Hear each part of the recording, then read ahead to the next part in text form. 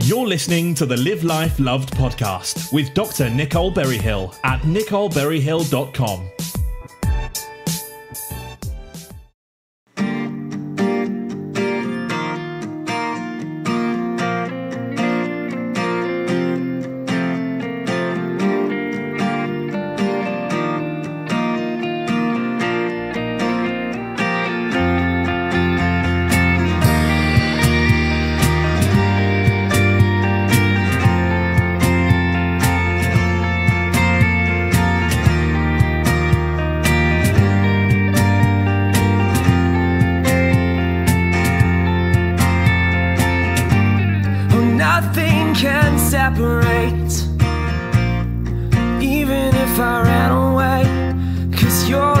love never fails. No, no.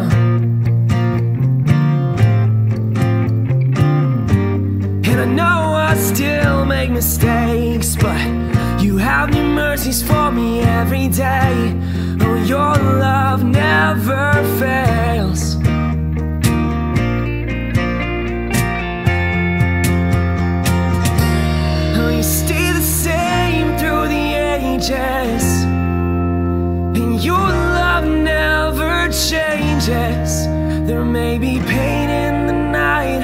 Joy comes in the morning.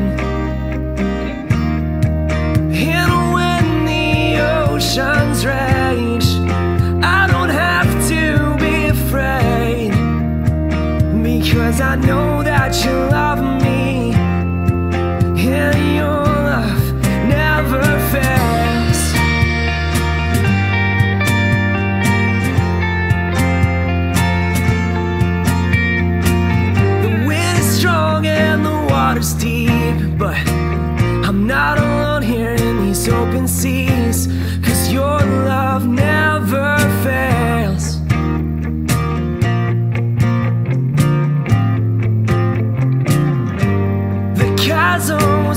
Far too wide.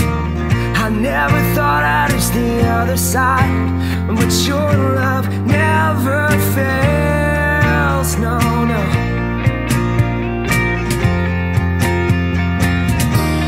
And you stay the same through the ages. God,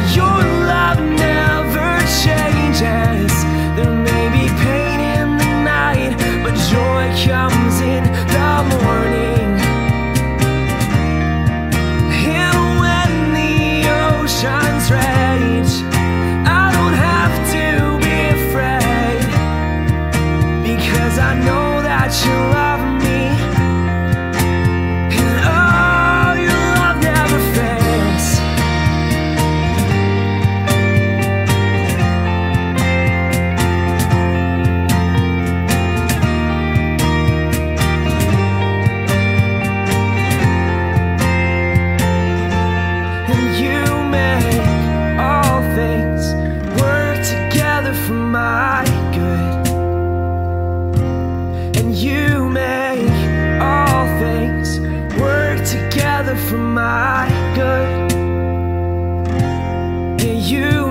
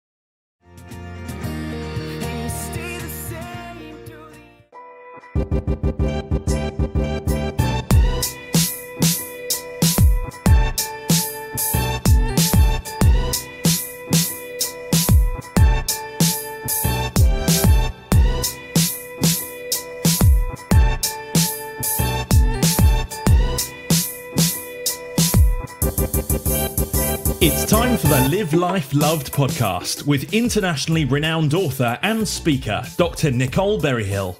She asks us the question What if I tell you it's all so much better than we were led to believe?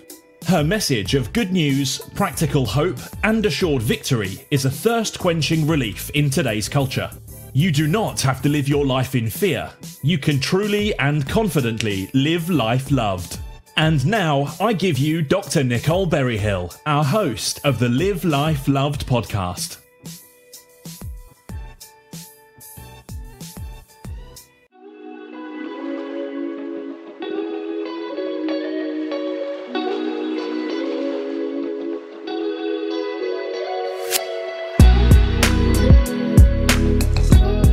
Hey, friend, welcome back. I'm so glad you're here.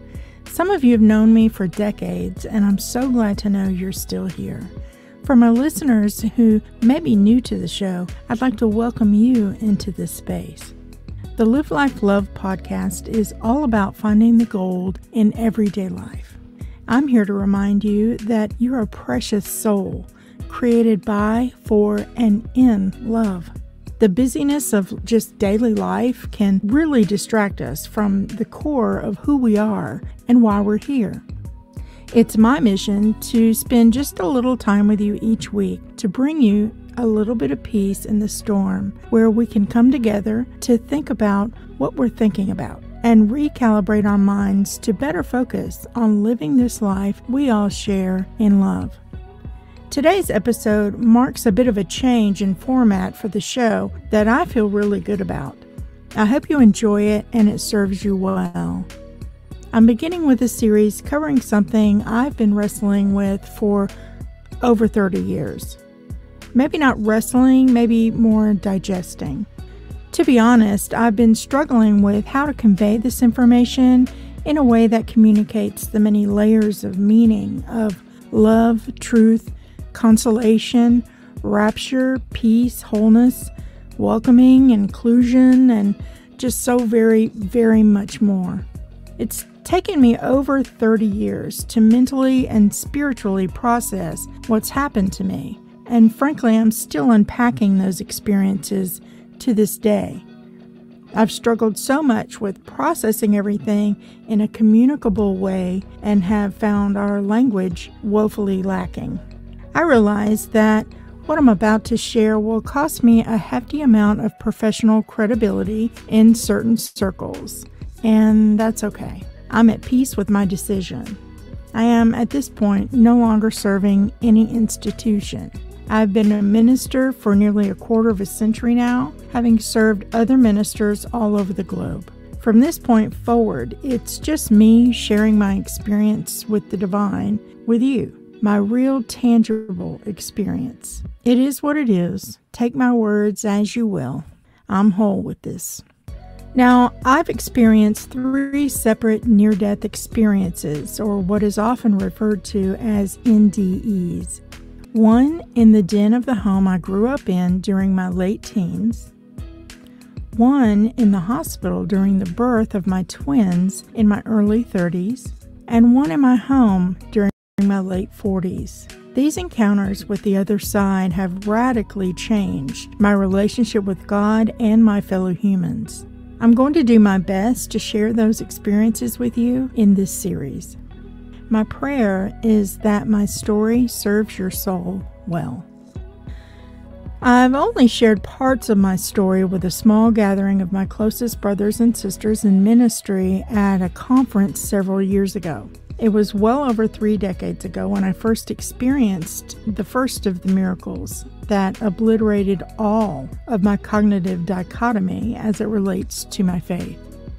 I should probably inject a little background to help put that idea into context. I've attended church my whole life. My grandpa was a Methodist minister. Everyone just called him the preacher. So I went to summer Bible school either out at my grandmother's place at their church or at our local church every summer. I was pretty much at church every time the doors were open as I grew up. I was an acolyte during the services. I worked in the nursery. I was active in my local youth group and went on to serve as president of our church's UMYF group, which is United Methodist Youth Fellowship. I went on to become a Christian counselor, serving people in their deepest times of need for basically the rest of my life. In that time, I founded what is now the broadest reaching non denominational ministry association for independent fellowships, with members on every inhabitable continent on earth. And later, the association's seminary to provide the educational foundation and support those independent ministers would need to thrive in the real world. I passed those torches of leadership into loving and capable hands back in 2016 to pursue other endeavors. But I can easily say that connecting those souls and working to empower them in what was then a very closed field of service is easily one of my greatest journeys, second only to being the mom of my four incredible daughters. And I'm super proud of what we all accomplished together. Each and every minister I had the privilege to work with during that magical time are, to this day, considered some of my closest friends. I share all of that to frame what I'll be sharing with you in this series. It has taken me all this time to unpack, see clearly, and fully digest my experiences with what most would refer to as the afterlife and the following unveilings to arrive here. There have been ongoing, what I call knowing downloads that I cannot explain ever since. I've been essentially overwhelmed trying to unpack even the smallest segment of these experiences. And being a psychological researcher focused on neurotheology for essentially the last decade, working to settle the juxtaposition between what I experienced firsthand and what I have been taught and lived literally my entire life. Make no mistake, God is very real. He's amazing. You are intrinsically a part of Him in all you do, on purpose. You are intimately loved in a way that saturates the entirety of the universe. Our language is simply not adequate to explain what I now know, but I'm here to really give it my best effort because I absolutely know the world needs to hear it. I'll do my very best to communicate the unbelievably good news that many allude to but few truly understand in its divine fullness. I have indeed, quote, crossed over on three separate occasions in my life here on earth. I'll do my very best to share my full experiences with you to help you see and understand the glory that I have seen. Ultimately, I'm changed. Period. Our faith is not for nothing. Call me a weirdo or maybe a blasphemer for breaking away from certain dogmas as a result of what I've experienced firsthand, or frankly, call me whatever you want. I know what I know. I feel like I've unpacked it enough for myself over these many years to be able to finally share as much as I'm able in a real way. Now, when I say that my experience have multiple and infinite layers of meaning that have taken me nearly 30 years to get my head around, uh, I mean exactly that. I'm still regularly experiencing more revelations of meaning and context as I continue to grow spiritually. One thing I say often is that I no longer have faith per se, I have proof at least enough proof for me. I want you to have the same blessed assurance that I have in my bones. I'm bold in his heart, and you should be too. I'll start here with my first experience. In my late teens and early 20s, I had pretty severe hypoglycemia, which is chronically low blood sugar. I had to micromanage what and how often I ate during the day. If I overslept or got busy with a task and forgot to eat, I would I would feel tingly or dizzy and vertigo, and often I would experience audio symptoms like everything sounded as if I were listening through a muffled tube. And in the worst events, I would faint or pass out. There were several times when my mom would just randomly find me laying at the bottom of the stairs or just in a haze. I had to keep sugar tablets or pieces of hard candy on me at all times for emergencies. It's maybe best understood as the opposite of diabetes, but has very similar symptoms. I recall one three hour glucose tolerance test I had to take during that time. My blood glucose level dipped into the low 40s. If you're in the medical field or are just familiar with those numbers, that will tell you exactly how tightly I had to manage my eating throughout the day to keep my sugar up. On this particular day, I had come home from work around 2 p.m., and our area was under a tornado watch. Here in North Alabama, that is a regular occurrence during certain times of the year, and we're well educated from a young age on what precautions we should take to stay safe. Mainly, we go to the safest room in the house and just wait it out. Touchdowns are super rare, but they do happen. So, heading to the den at our house and turning on the weather coverage was basically an ingrained response. I pulled into the driveway as I heard the warning on the car radio. It was looking especially dark and stormy outside, and the rain had just begun. So I walked in through the carport door. Our house was a standard 1970s split level, so, coming in from the carport put you in the kitchen on the middle floor of the house. About this time, the tornado warning sirens began to go off, so I just did what we do. I headed downstairs to the den and turned on the TV, which showed the tornadic movement very close to our area. Now, our den was pretty large, and most of it had that shaggy dark brown carpet that so many homes did back then. There was maybe a 10 by 15 foot recess that used to be my playroom growing up, but we'd knocked out that wall and hadn't yet carpeted that area, so it was basically just a bare cement floor with a throw rug on it at this point. This was by far the safest spot in the house as it sort of tucked partially under the middle floor above. This is where I settled down to wait things out. I was the only one at home until my mom got off work and picked up my sister from her after school program, so I was a little nervous. Hopefully, this thing would just pass on over and that would be that. There were no cell phones back then, so all one could do was just wait it out. So, the last I'd eaten that day was around 10 a.m. Given the weather situation, I just walked in through the kitchen and kept on going to the den. There was so much else going on, it literally didn't occur to me to grab a bite to eat on my way through. I just got comfortable sitting Indian style on the floor in the area that used to be my playroom as a child and watched the weather on our big TV across the room. The tornado's sirens began to go off a second time as yet another funnel cloud was forming in our area.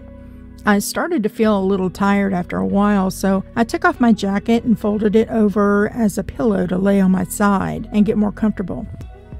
There were plenty of throw pillows on the couch across the room, but like I said, I felt very tired and just didn't want to get up. I figured this would all be over in a few minutes anyway.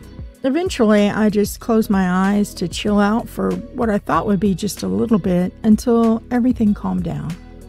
I don't know how much time passed between closing my eyes and what happened next. I was basically floated out of my body, and I could see myself laying on the floor. I would say I was pulled out of my body, but it wasn't as forceful as that. Maybe rising is a better word.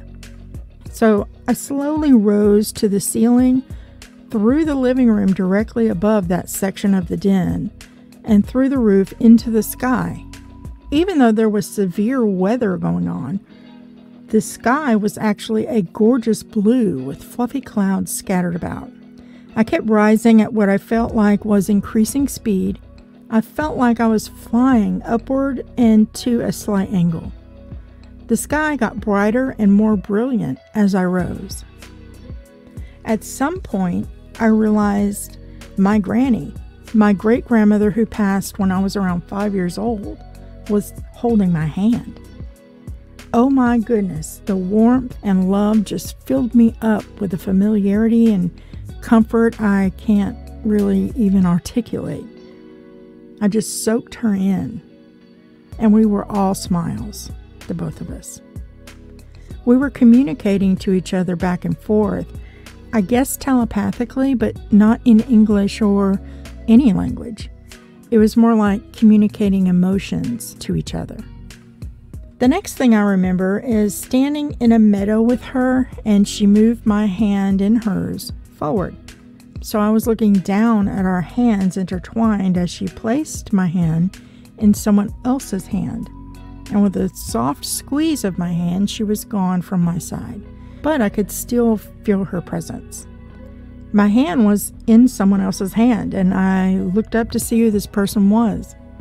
I instantly felt that we'd had a very long connection, so this wasn't an alarming situation, but a super cozy one.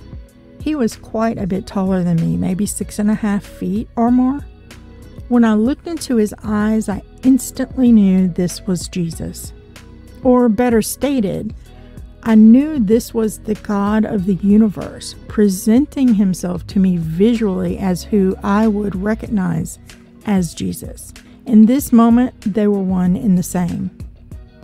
I was enraptured with a love I, to this day, can't really describe. I was home. I was with my soul's dad. We walked together in this meadow for what seemed like forever, talking back and forth in that same telepathic emotional language. It was utter bliss. I could feel and communicate with many other souls around us, and they were also known very intimately to me. My feeling was that they were lifelong friends and other members of my family who I'd not met on earth but felt as if we'd spent an eternity together. I could also feel that even the air was alive and everything around us was alive. Everything, and I mean everything, was singing the most incredible music all the time. Music I can vaguely compare to a hive of bees buzzing, but larger and incredibly, incredibly beautiful and peaceful and uplifting and joyous. Everything around us was gorgeous. There were flowers with colors we don't even have names for here. The trees around us were a million shades of the most incredible greens. As a former art student whose medium of choice for many years was oil on canvas, I'm telling you for a fact these colors don't exist here. And those colors were alive. During this whole time I was there, I continually realized that I just knew things, things I would have no other way of knowing too much to try to share here all at once, so I'll probably start a separate series once I've communicated my experiences with you in this series. Some of these knowings are actually now coming into scientific confirmation through the field of quantum physics. I know, it's really weird. So, anyway, we walked and talked for a very long time. The temperature was perfect, the light was a gorgeous warm glow absolutely everywhere, and the light was literally alive and all encompassing and made of love. The best I can describe the sensation of being in that light is if you imagine falling into a giant pool of warm honey. It's like swimming in a giant hug, but you're living there, and the hug is everywhere and everything. As we were spending this wonderful time together, at one point I heard a muffled call from very far behind me that said, Nikki. This was my family's nickname for me growing up, but I didn't realize that in the moment. I didn't have any emotional connection to the word, which is weird. I just knew it was being called out to me specifically. That only makes sense when you realize I'd been there for what felt like years speaking in our telepathic emotional language. So I felt emotionally the intention of the word was for me, but I had no understanding of the word itself. Again, weird, I know. I heard the muffled call behind me a couple more times, and then Jesus turned to me and picked up my other hand to hold in his hand, and he looked me he looked me in the eyes and he said, "My love, it's time for you to go back now." I literally said, "Go back where?" he replied with, "You need to go back now. You still have much to do. I'll be with you the whole way. Don't worry." And then he let go of my hands. Instantly, I felt I was being pulled backwards, and the muffled calls of Nikki, Nikki, wake up got more and more clear, and then I felt like a boulder back into my body. It was kind of painful. I was freezing on the cold floor laying on my back. This woman was shaking my shoulder, saying, Nikki, Nikki, wake up. I opened my eyes and I didn't immediately recognize her and didn't understand what her words meant. She said several sentences before I began to understand English again and recognized that she was my mom. She had orange juice and I believe some hard candy, and I sipped on the juice and she had me put the candy under my tongue. Slowly, I began to warm up and come to, as they say. Eventually, I told her about my experience later that evening. We did the math together, and this whole experience that felt like literally years to me started around the time I closed my eyes, maybe 2:30 that afternoon, until she got home at nearly 6. I was around 17 or 18ish, I think, when this happened, and it took me a really long time to process it. This was the late 80s, and there weren't many resources to seek out about this kind of thing. There was no internet, and I found almost nothing at the library. I didn't even know there was a word for it. I handled it like most of us Gen Xers did back in the day. I just I just put it in the back of my mind and went on with life. But in my quiet moments, I always pondered the whole experience. It was very real. And I explored the memories and sought out their meaning. Every now and then, even to this day, I'll see or hear some random thing that frankly makes me cry and long for home. That home. Our real home. But I live here, and I have a life here to live and people to love. Since that day back in my teens, I've always felt that I was walking through this life with one leg on earth and one leg in eternity. I haven't always processed it well either, but I've done my best with what I had available to me at the time. I feel incredibly blessed that I've had two additional experiences since then in my life, and I'll share the second experience with you that happened during the birth of my twins in the next episode. I hope to see you there.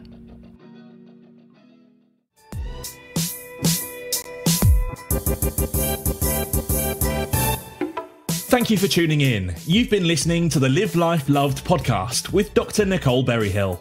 Be sure to subscribe, like, and share over your social media to help spread the love. Be sure to sign up for the free Live Life Loved newsletter today at nicoleberryhill.com for bonus weekly content to help you live your life loved.